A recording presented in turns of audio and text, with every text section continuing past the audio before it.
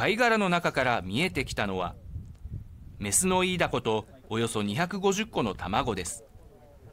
産卵前のイイダコと貝殻を一緒に育成したホーランイイダコと呼ばれるもので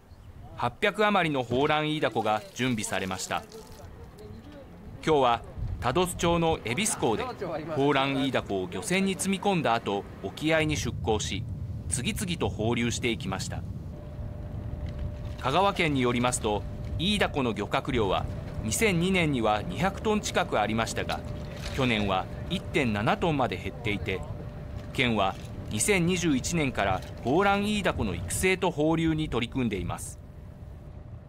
今年は初めて中山地区の漁業者も育成に参加し56のホーランイイダコを放流しました。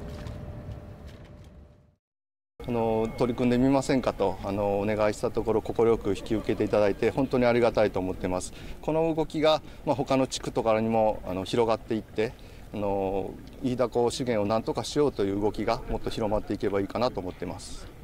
まあ、漁獲量が少なくなっている、まあ、危機感これを一番分かってもらうために漁業従事者がこういうことを今してることは小さな一歩だと思うんです。それがもう後々に大きな一歩やったなと思えるようになったらいいと思います。今月から7月にかけて孵化し秋以降に旬を迎えるイイダコ失われた水産資源をよみがえらせる取り組みの今後に注目です。